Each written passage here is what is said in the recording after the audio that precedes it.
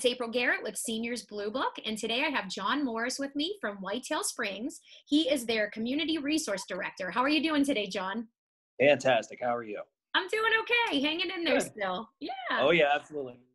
So tell us a little bit about Whitetail Springs. I know that it's a fairly new community. That's correct. That's correct. So I'm going to actually go back beyond us and talk about our corporate entity. That's JEA Senior Living.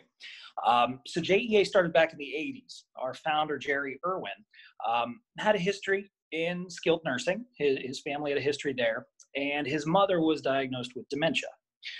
So as he was trying to find care for her, he just couldn't find a place that he felt uh, met her needs, essentially. So he decided to start his own. And that was the starting of uh, JEA Senior Living. So we're now 60 communities across the US. We are the first in Pennsylvania.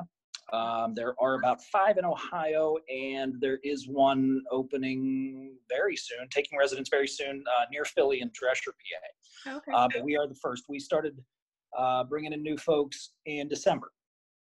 Um, so we are a growing community. We're we're licensed for 66 folks. We have 55 apartments here. Um, so yeah, so Jerry just started his own thing, and it's uh, started with Meaningful Moments program, um, in which basically we kind of flip the script a little bit. A, a lot of communities like ours are very task driven. So what I mean by that is you have your aides have a task sheet and they need to get people up by eight o'clock so they can have breakfast by eight thirty and they're in an activity by nine thirty and then they're having a nap and then they have dinner at or lunch at noon and then it's back to an activity and then it's a nap again.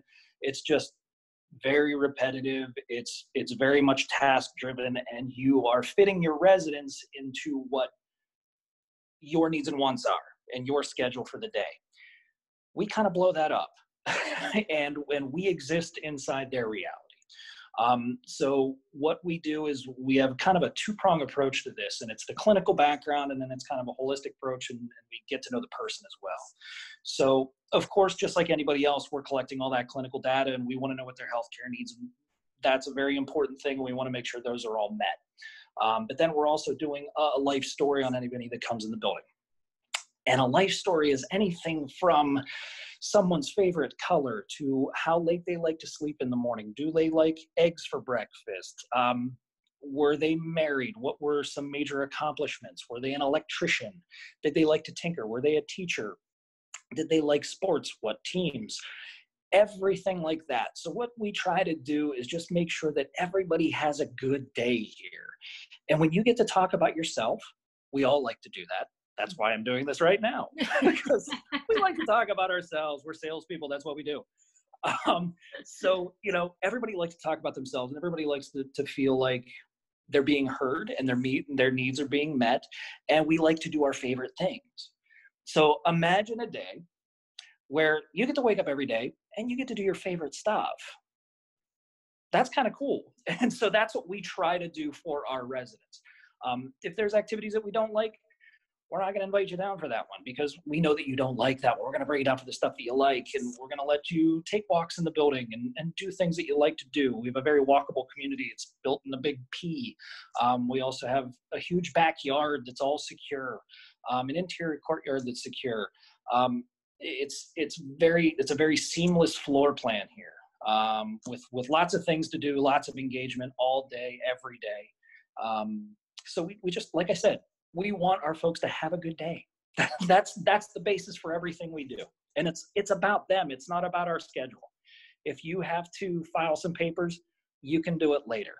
Sit down, hang hang out with Margaret, talk to her about her day. That's what she wants to do.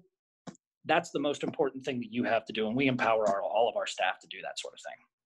I love it. My grandmother, probably about 20 years ago, had dementia, and okay. um, I visited your building quite a few times since it's been open. And it's not only is it gorgeous, but the way that it's set up with the courtyard. I mean, it's it's a fantastic place. And just knowing what your staff does and what they do for these residents, it's it's phenomenal. You have a phenomenal. It's a mission. It, it truly is a mission here.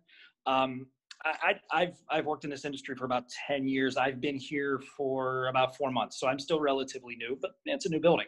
Um, but I came into this industry because of my family history. Uh, my grandmother had dementia. Um, so I had no idea any of this existed until I had to start going on tours and visiting her in, in independent living and, and, assisted living, and then eventually into skilled nursing before she passed. But I, I, had no idea any of this existed, and that's how I got into it in the first place. So to see a community um, that specifically serves those type of residents, mm-hmm. um, knowing what my family went through and my experience that we all had, it's just such a mission. And what I found when I came here is that so many of our staff, um, administration and frontline staff, have had the same experience I've had. So we've all been touched by this personally. Um, so that's the approach that we take. It is really, truly a personal approach to it. It's fantastic. So during COVID 19, are you guys accepting residents at this time? We are. We are. And you know, I have to be honest, for us, it's pretty much business as usual our business is taking care of people. There are still people out there that need taken care of. Mm-hmm. Um, you know, because of COVID nineteen, people aren't haven't stopped falling. Um, you know, there there there are still people that are unsafe at home. It doesn't change things for them. Um, we still need to be here for them, and we are. Um, so we've been taking precautions. Our our home office is in Washington State, as I mentioned, so they had really kind of front row center for what this virus can do when it gets into um, into a facility like it did out in Washington, and everybody saw what happened out there. It was tragic. Um, so we really got out ahead of this. Uh, we we've been we've been modifying visitation since the end of February. Um, eventually restricting it. we are now testing as well. We do have COVID tests. So anyone that's uh, in a, a, new admission or a readmission of one of our uh, one of our current residents, uh, if they go out to the hospital and coming back, we're doing COVID testing as well. Um, in addition to uh, enhanced social distancing, so we're we're doing social distancing in our dining rooms. We do have two dining rooms, um, and at activities, we're making sure that we're maintaining that safe space um, in the community daily. So our activities are still continuing to go on. We don't have everybody sitting in their rooms all day just watching TV. We're still out and about, moving and shaking, and making sure that they're having a good day. Um, we can we can still do that in a safe way if we're smart about it. And um, we we've had uh, we had a clean building so far. We haven't had any cases uh, with staff or residents, and in fact. Our, our company's done a fantastic job of that as well, and, and we have 60 buildings, and I, I think maybe there was one case uh, across uh, across all of our buildings, all 60. Um, wow. um, and that was that was a pretty exceptional case at that. Um, so yeah, it, it our, our, whole company as a, as a as a whole has done a fantastic job of uh, of really being hyper vigilant uh, against this as we need to be to protect our folks. Well, wonderful job, wonderful job to you and your staff. Thank you. Awesome. Thank you. So I'm going to pull up your website real quick here, and I didn't know if there was anything that you want to share on your website. Maybe there's some photos that people can find of what your building looks like, or maybe are you guys offering any kind of virtual tours right now? We we are actually we just started up a, a YouTube channel okay. um, for our our building, our Whitetail Spring Whitetail Springs building uh, in particular. So you'll see me on some more videos, hanging hanging out and uh, and and doing things like that. Um, all of our building, most of our buildings in JEA basically have the same floor plan. So um, any any pictures that you see on here um, may not be building specific and i can send those of course if anyone's interested. Um, but uh, yeah lots of good information there uh, lots of things about our, our meaningful moments program. Um, we have uh, five cornerstones to that meaningful moments program.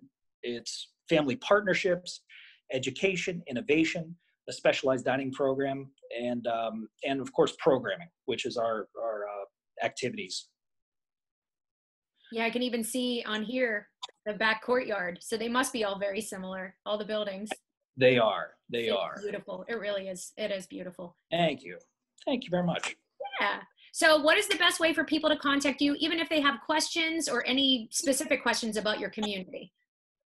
Absolutely. Well, you, you can go to our website to schedule a tour. You can do that. Um, but what I'll do is I'll actually give you my phone number. Um, you guys can call me anytime. You can text me anytime. Just let me know who you are if you text me because I won't know, obviously. Um, but uh, I'll give you my uh, my building number is 412 884 3033. And you just ask for me, John Morris.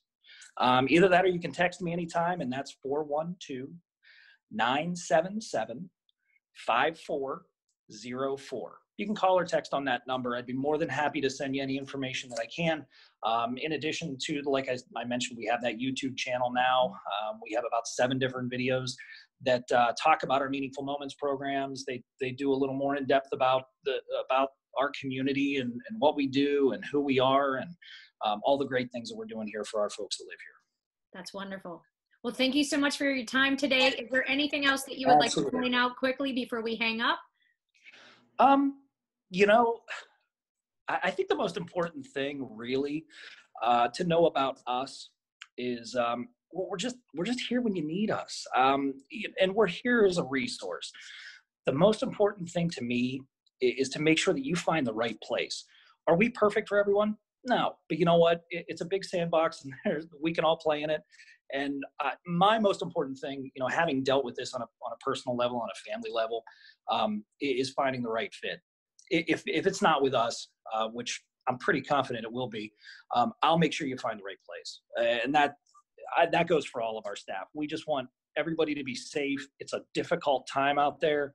Um, and I know a lot of our other uh, other partners in the community, um, other other senior living communities. We're all working together to make sure everybody stays safe, and that's the first and most important thing on our minds right now. Um, so anything that we can do to be a resource for any families out there, just reach out. We're more than happy to talk and chat and see what we can do to help. Fantastic. Well, thank you so much for your time today. Anytime. And I hope to see you soon. Absolutely. All right. Take care, John. All right. Thanks, April. All right. Bye. Bye bye.